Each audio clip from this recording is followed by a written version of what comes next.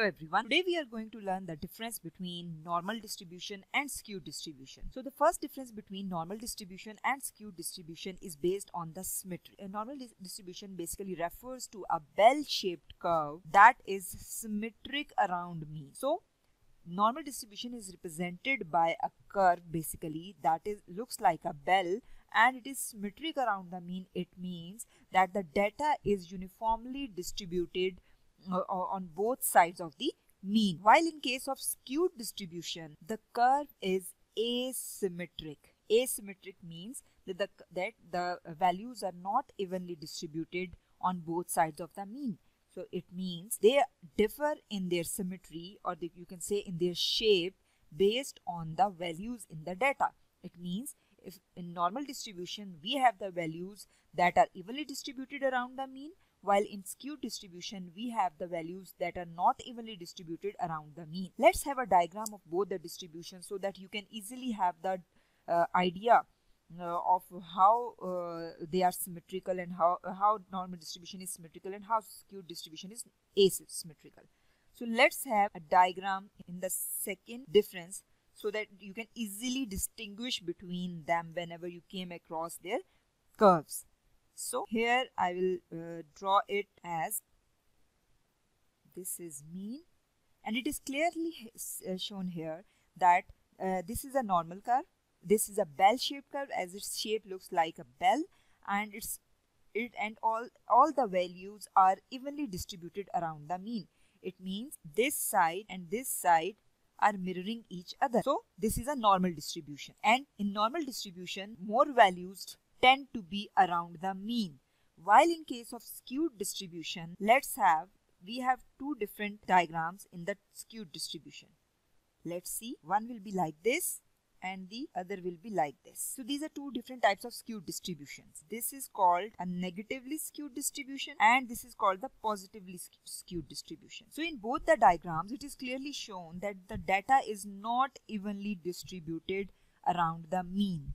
Here, the mean will be somewhere at this place. In this diagram, the mean will be somewhere at this place. So it means that data is not evenly distributed on, on around, around the mean or on both sides of the mean. So this is how they differ in their curves. Another difference between them is in normal distribution, we have mean equals to median equals to mod. It means all these value will be values will be equal in the normal distribution. While in case of the skewed distribution, it is not so. They are not equal.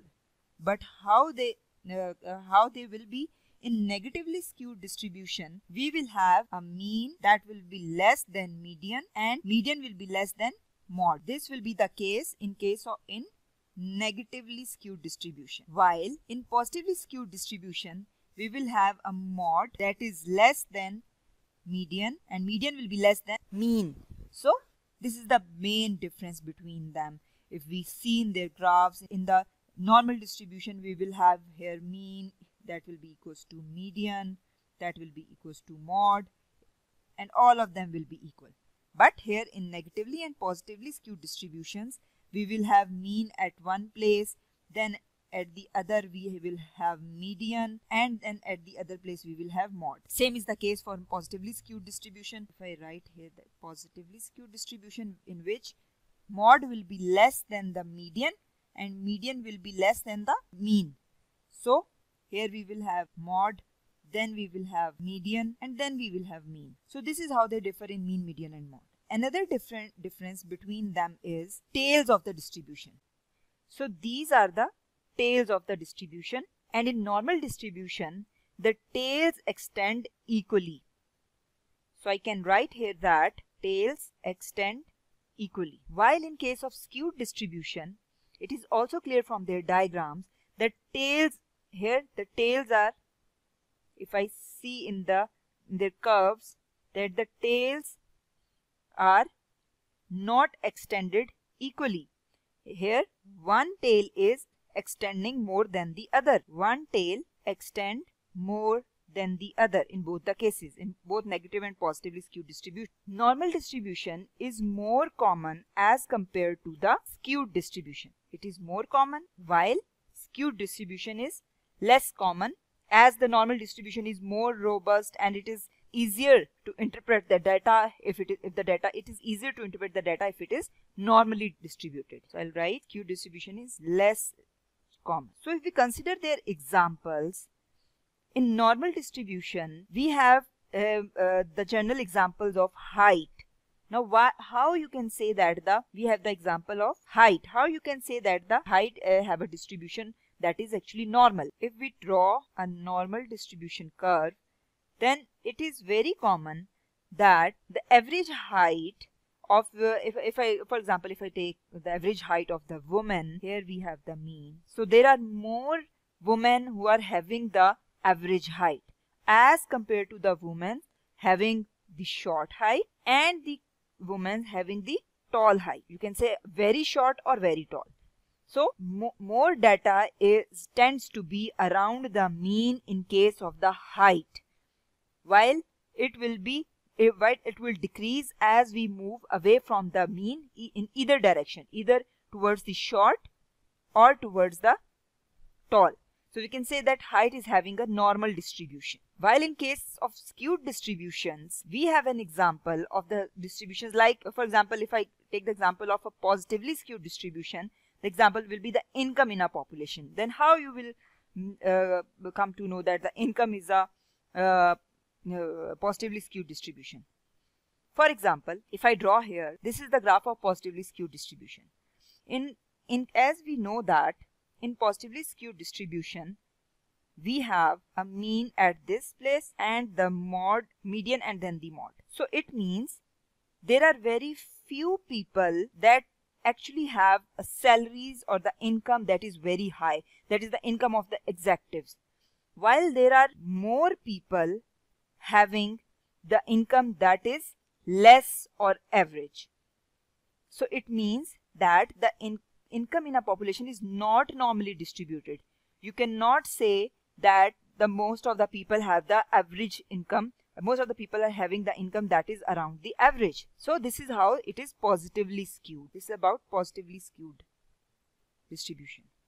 But when we consider the reaction time, the example of the reaction time you will came across it as well, it will be negatively skewed because this is a mean, then we have a median and the mod. There are more people, if we move towards here, who have the reaction time, the, who have very high reaction time and very few people who have less reaction time. So, we can say that the reaction time is also negatively skewed. And we cannot say that the reaction time is a normal distributed distribution because we cannot say that most of the people have the average reaction time or most of the people tends to be around the average in, in terms of reaction time. So it will be negatively skewed. So this is how they uh, differ from each other. Another important uh, important difference is the normal distribution is basically uh, less sensitive to outliers. I have given you the idea of outliers in my lectures. So it is less sensitive to outliers that ju uh, just make it more robust and while skewed distribution if I write its seventh point it is more sensitive more sensitive to outliers. Outliers are basically the extreme values that makes the entire data you can say uh, um, uh, not reliable or you can say uh, uh, from which we cannot extract valuable information. So that's all from today's lecture. This was all about the difference between the normal and skewed distribution. Hope so it will help you. Thank you.